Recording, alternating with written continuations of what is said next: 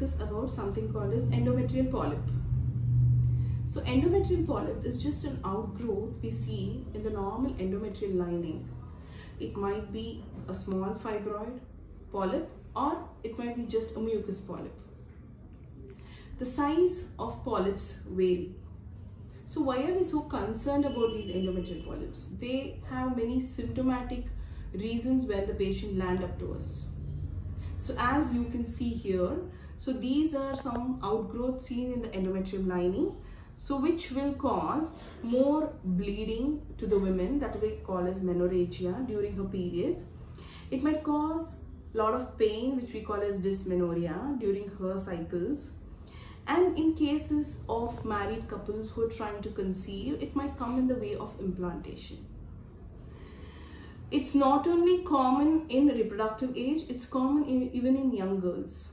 So some patients land up to us at 18, 19 years with severe anemia and severe bleeding. And one of the causes might be these endometrial polyps. Not though common as seen as in reproductive age. Endometrial polyps can be dealt in different ways. Very small polyps, say less than 0.5 centimeter, we give a cycle time, that is one month period time, to review and see whether some of them disappear with the periods. Few of them are monitored for 2-3 concurrent cycles and seen if they persist and if the couple is trying to conceive, definitely it needs removal. So the removal might be in different ways. The most common, the best procedure which is suggested is hysteroscopic removal of endometrial polyp.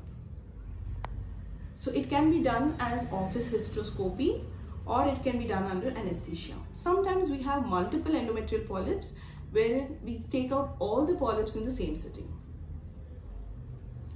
This gives complete clearance of the endometrial cavity. Sometimes what happens when the size is too big, it might require two sessions or if it is hard as I called as fibroid polyp, it might require some other extra procedures. For more details, please contact Namratha Hospital. Thank you.